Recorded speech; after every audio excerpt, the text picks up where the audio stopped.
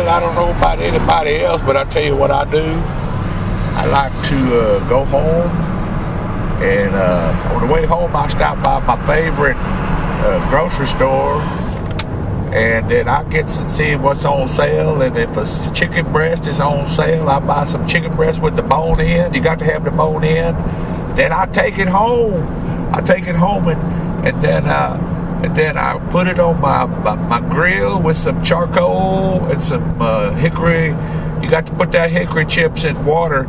You put the hickory, hickory chips in water, and then you lay the smoked chicken breast with the bone in. Got to have the bone in.